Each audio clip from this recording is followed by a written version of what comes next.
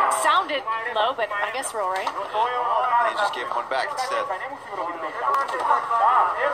are big knees from the thigh, too. Back at this point. Oh. Dude has got to try to get out of here. Oh, knee up top. That's it. That's good. That's it. That's it. Dzisiaj nie widać tego lęku przed, przed tą areną walki. Zapięta klamra Brzeskiego. Chciał zerwać uchwyt gdzieś tam. e, Przopy e, Michała Kity rozrywa teraz e, klinczy. Michał Kita chciał wystrzelić mysłów. Właśnie atak na łydkę, atak na do tego Brzeski wyczyta, nie wstaje. Jeszcze raz idzie po nogę.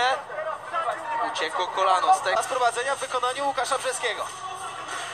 Solta a visão, solta a visão no combate. Nilton Costa diretamente aqui do canal, solta a visão no combate, transmitindo alguns palpites das lutas do MMA para toda a galera que gosta de assistir as lutas aí do MMA.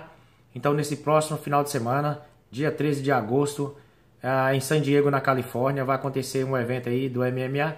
Então estou aqui para passar os palpites para toda a galera aí que gosta de fazer aquela aposta. Temos aí a segunda luta do card preliminar, os pesos pesados.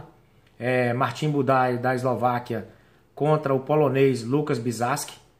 É, vai fazer a segunda luta aí, né, no card preliminar é, dos pesos pesados, onde a luta principal, a última luta principal do card principal é será a luta entre Dominique Cruz é, contra o Marlon Vera.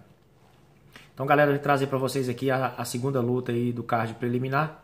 É, Martin Budaj da Eslováquia vem, ele tem 10 vitórias, uma derrota, tem 7 vitórias por nocaute e uma por submissão. E o Lucas Bizaski da Polônia tem 8 vitórias, uma derrota, um empate, tem 5 vitórias por nocaute, perdeu uma por nocaute e tem duas por submissão.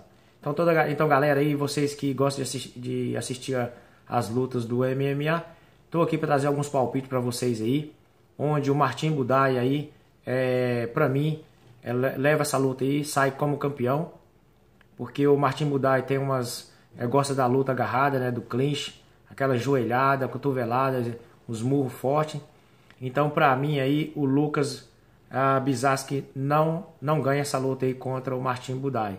Então toda a galera aí é, que gosta de, de acompanhar alguns palpites aí, tá aqui Martin Budai ganhando aí do primeiro ao segundo round aí por nocaute.